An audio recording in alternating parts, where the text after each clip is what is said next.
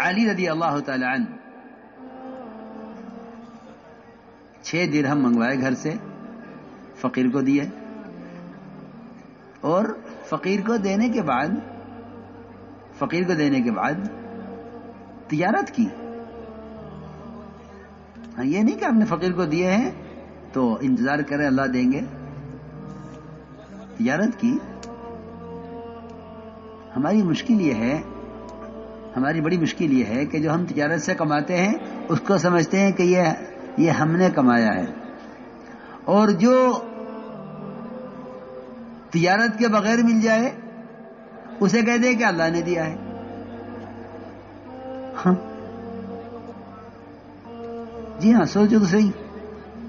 जो चीज़ असबाब के बगैर आ जाए, उसे कहते अल्लाह ने दिया है। और जो अपनी कोशिश से कमाते हैं, उसे कहते हैं कि हमने अपनी कोशिश से कमाया है। हालाँकि, ये हमने अपनी कोशिश से कमाया है, ये बात सिर्फ़ कानून की ज़ुबान से अच्छी लगती है, मुसलमान की ज़ुबान से अच्छी नहीं लगती।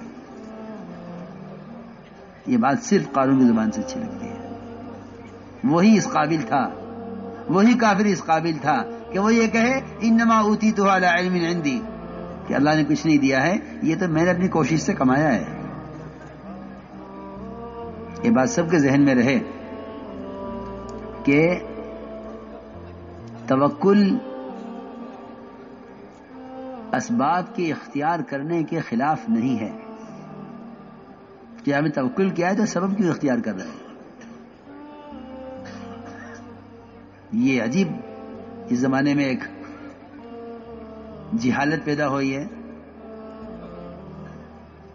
कि भाई तवक्कुल करो। तवक्ल करने का मतलब है कि तिजारत ना करो। तवक्ल करने का मतलब कि तिजारत ना करो। बल्कि मैं तो समझता हूँ कि तिजारत करना ही तवक्ल करना है। हमारी बात जरा तवज्जो चाहेगी। ध्यान से सुनना। तिजारत करना ही तवक्कुल करना है। इसलिए कि तवक्कुल करने वाला शख्स वो है, तवक्कुल करने वाला शख्स वो है, जिसकी हाजत मखलूक पर ज़ाहिर ना हो। देखो मेरी बात याद रखियो। एक आदमी का तवक्कुल उस वक्त तक है, जब तक उसकी हाजत अल्लाह के सिवा किसी पर ज़ाहिर ना हो। अगर इसकी हाजत अल्लाह के गैर पर ज़ाहिर हो गई, इसका तवक्कुल खत्म हो गया। तवक्कुल एक राज है बंदे के और अल्लाह के दरमियान तवक्ल देखो, इस इस हाजत को मखलूक से छुपाने का हाजत को मखलूक से छुपाने के लिए तजारत है। लोग समझते हैं कि माल कमाने के लिए तजारत है। नहीं। तजारत मखलूक से हाजत को छुपाने के लिए है। हमारी बात बहुत तवज्जो चाहेगी हमारी बात बहुत तवज्जो चाहेगी। तिजारत मखलूक से हाजत को छुपाने के लिए है। अगर आप कोई सब इख्तियार नहीं करते हैं तो लोग कहेंगे कि ये कुछ नहीं करते। चलो इनकी मदद करो। जी हाँ आपका असबाब इख्तियार न करना, अपनी हाजत को मखलूक पर ज़ाहिर करना है। इसीलिए आप देखेंगे कि जो फकरा सवाल करते हैं, उनके अंदर से कमाने की इस्तेदाद खत्म हो जाती है। क्यों?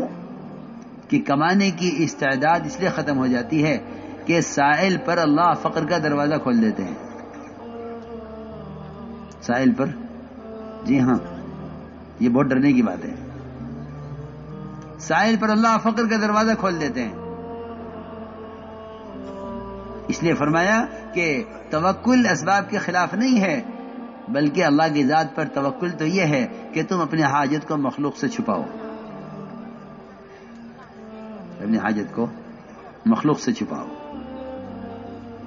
और अगर आप ये कहें कि जो तवक्कुल करे वह सऊगी अख्तियार करे तो इसका मतलब यह है नवजुबिल्ला अम्बिया और सहाबा और ओलिया इनमें तवक्कुल नहीं था कि असबाब इख्तियार करते थे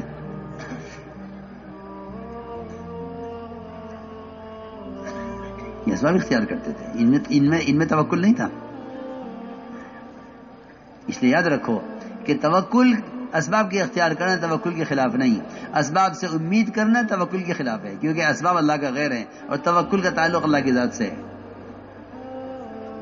हाँ, उम्मीद कोई नहीं है सबब से तो अली रज़ी अल्लाह ने छह दिरहम दिए फकीर को फिर तजारत की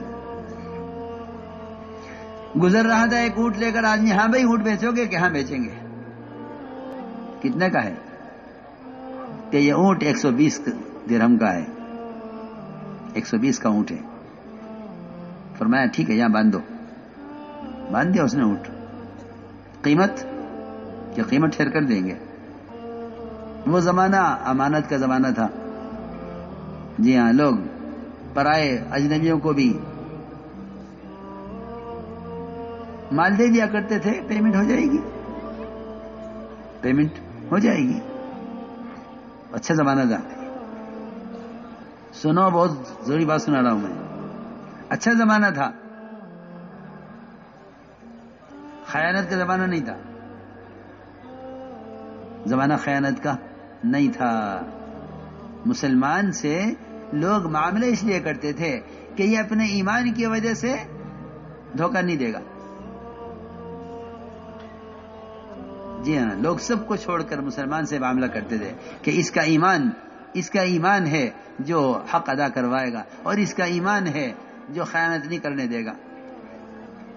मामलात बड़ी नाजुक चीज़ है बड़ी नाजुक चीज़ है। जी हाँ मामलात बड़ी नाजुक चीज़ है।